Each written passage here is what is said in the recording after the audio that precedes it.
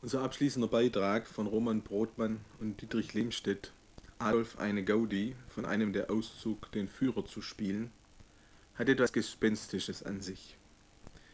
Wie reagieren heute Menschen, wenn sie jemandem begegnen, der die frappierende Ähnlichkeit zu Adolf Hitler sorgsam pflegt und zur Schau trägt?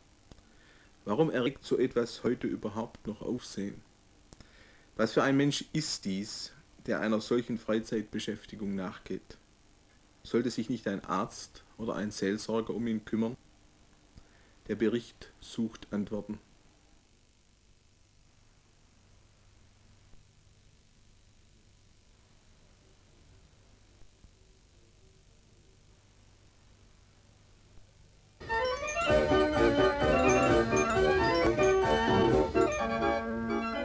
Hier draußen immer etwas Trages zu sehen, zu jeder Vorführung, zu jeder Vorstellung. Die Schaubude längst eine Rarität geworden. Es gibt nur noch wenige dieser Schaubuden in der Bundesrepublik.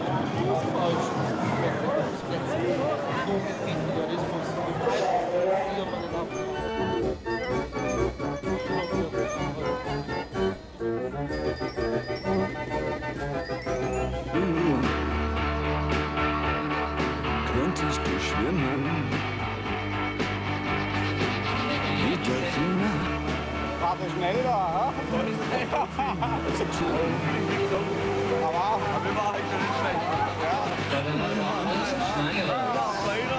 Gibt uns eine Chance, Und Havela. wollen wir sie dann